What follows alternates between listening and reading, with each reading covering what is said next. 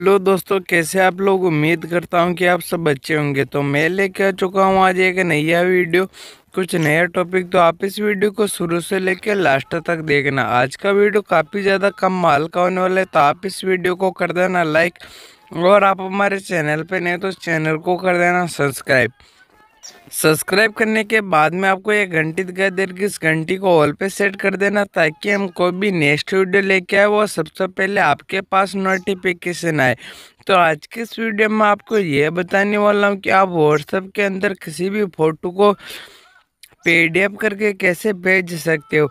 WhatsApp के अंदर से व्हाट्सएप के अंदर में से आप किसी भी फ़ोटो को पीडीएफ करके बड़ी आसानी से आप भेज सकते हो बट आप कैसे भेज सकते हो, हम आपको इस वीडियो के अंदर बताने वाले।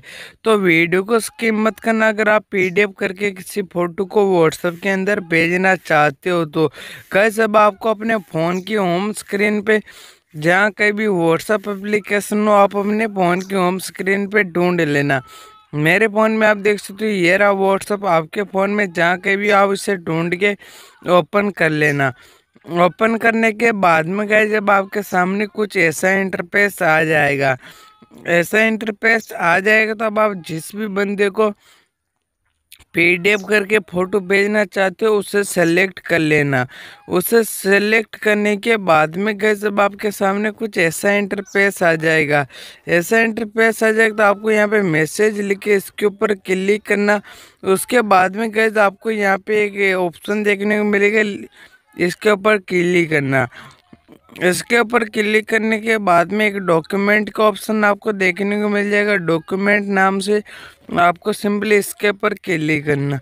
इसके ऊपर क्लिक करने के बाद में गैलरी में से चुने आपको सिंपली ये ऑप्शन देखने को मिल जाएगा, इसके ऊपर क्लिक करना।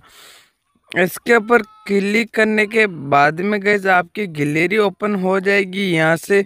अब आप जिस भी फ़ोटो को पीडीएफ करके भेजना चाहते हो, यहाँ पे वो फ़ोटो सेलेक्ट कर लेना। मैं आपको दिखाने के लिए ये फ़ोटो सेलेक्ट कर दी। अब आप नॉर्मली व्हाट्सअप के अंदर भेजते भेजते हो, वैसे भेज देना। उसके बाद गई आपकी ये फ़ोटो जो पी पीडीएफ होके चली जाएगी। आई होप आपने हमारे इस वीडियो को पूरा देखा होगा, बिना स्किप किए तो आपको समझ में आ गया होगा कि आप व्हाट्सअप व्हाट्सअप में से पीडीएफ करके फ़ोटो कैसे भेज सकते हो? आपको समझ आ गया तो आप इस वीडियो को कर देना लाइक और आप हमारे चैनल पे नहीं तो चैनल को कर देना सब्सक्राइब।